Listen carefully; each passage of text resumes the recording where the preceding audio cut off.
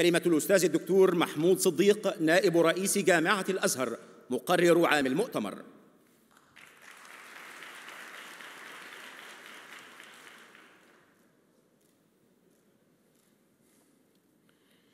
بسم الله الرحمن الرحيم.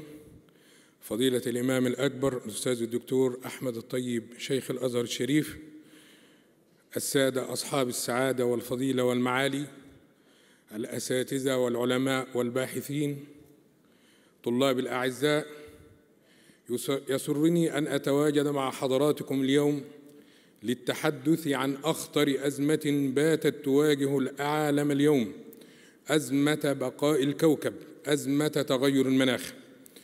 وينطلق مؤتمرا اليوم من واحدة من أقدم وأعرق الجامعات حول العالم جامعة الأزهر الشريف. تحت عنوان المؤتمر العلمي الدولي الثالث للبيئة والتنمية المستدامة بعنوان تغير المناخ التحديات والمواجهة. برعاية كريمة من سيادة الرئيس عبد الفتاح السيسي رئيس جمهورية مصر العربية وبحضور فضيلة الإمام الأكبر الأستاذ الدكتور أحمد الطيب شيخ الأزهر الشريف في ظل التوجه العالمي والوطني نحو الاهتمام بالتغيرات المناخية وتحدياتها التي تواجه الإنسانية وتستلزم حتمية التوافق بين شعوب الأرض بمختلف عقائدهم وثقافتهم. في مواجهة تلك التغيرات وضرورة التكيف المناخي للحد من الآثار السلبية لهذه الأزمة الإنسانية. يشهد كوكب الأرض حاليا تأثيرات مفزعة بسبب التغيرات المناخية.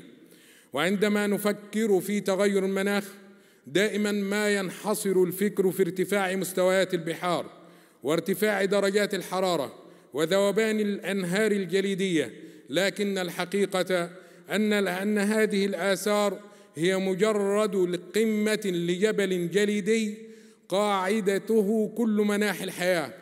فتغير المناخ أزمة تضرب كل صغيرة وكبيرة تتعلق بالإنسان والحيوان والنبات والمياه والجماد ويمتد أثرها إلى الاقتصاد والمؤسسات الصحية والتخطيط فواضع السياسات المالية والمزارعون والمهندسون والأطباء وكثير من أصحاب المهن والوظائف الأخرى من المرجح أن تتأثر أعمالهم نتيجة أزمة تغير المناخ ولأنه من الصعب مجرد تصور مدى خطورة آثار التغيير المناخي فمن الصعب أيضا أن نعرف مدى تأثيره على العديد من القطاعات والأعمال والمجالات.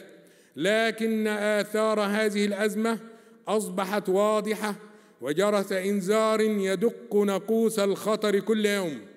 فمن منا من لم يشاهد الكوارث والجفاف والأعاصير التي تؤثر بشكل كبير على المصالح الاقتصادية ومستقبل الشعوب والأجيال القادمة. يسعى العالم أجمع لإيجاد حلول للحد من الآثار المدمرة لتغير المناخ فالحفاظ على البيئة والحد من أزمة تغير المناخ في الأساس قضية بقاء والاستهانة بها يهدد بتفاقم معدلات الفقر ويضر بالنمو الاقتصادي. وفي الوقت ذاته فإن كيفية نمو البلدان المختلفة وما تضخه من استثمارات لتلبية احتياجات مواطنيها من الطاقة والغذاء والمياه يمكن أن يكون سببا في تفاقم أزمة تغير المناخ وزيادة المخاطر المحتملة منها أو يكون سببا في احتواء هذه الأزمة وإيجاد حلول ناجحة بشأنها. وهناك وسائل وأساليب للحفاظ على البيئة والحد من تفاقم أزمة تغير المناخ كتسعير الكربون واستخدام الطاقة المتجددة والاستثمار في زيادة كفاءتها والتشجير.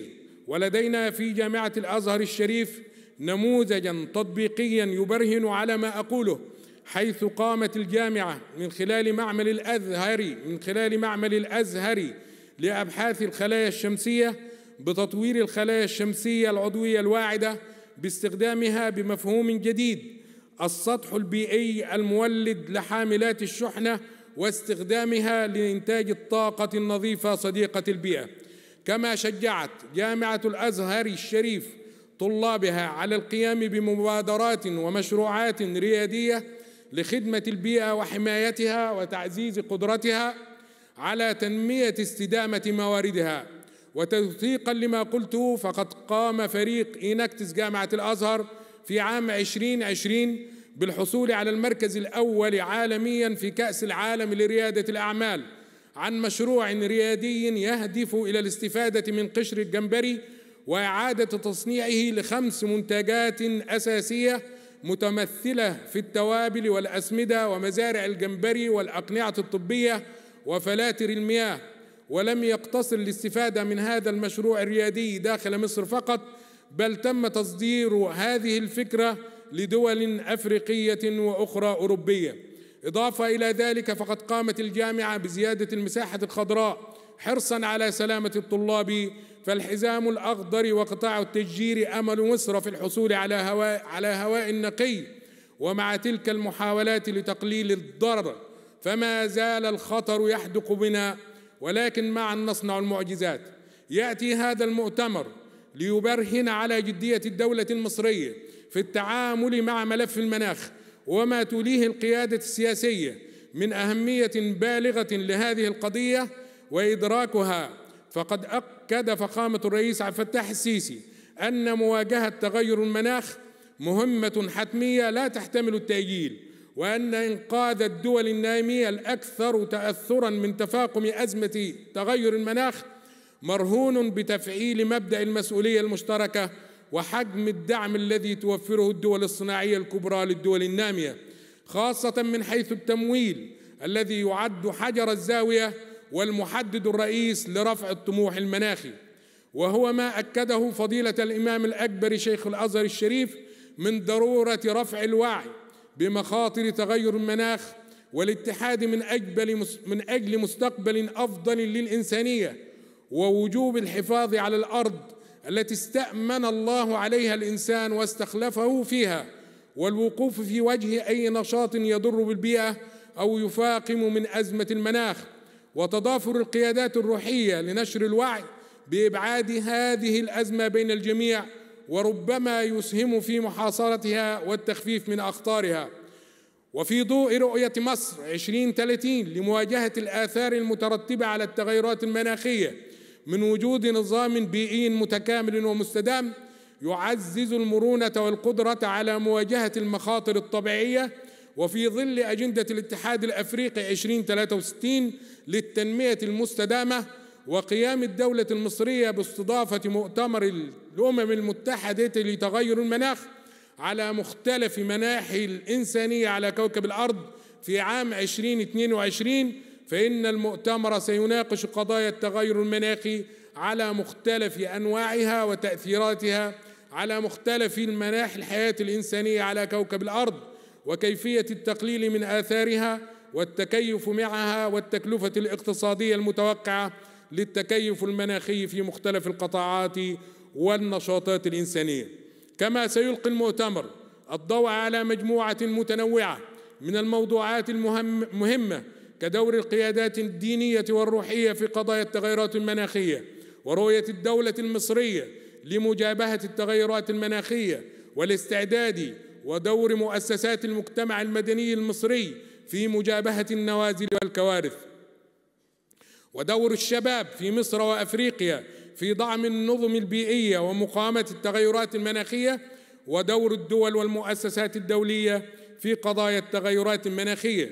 وكذلك دور الاعلام ومنصات التواصل الاجتماعي في التعا في التوعية ودعم مجابهة التغيرات المناخية.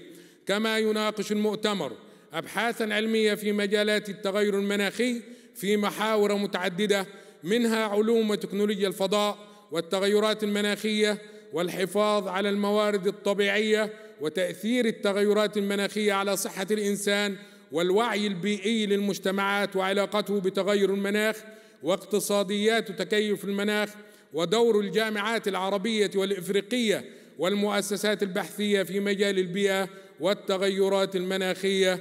أشكركم والسلام عليكم ورحمة الله وبركاته.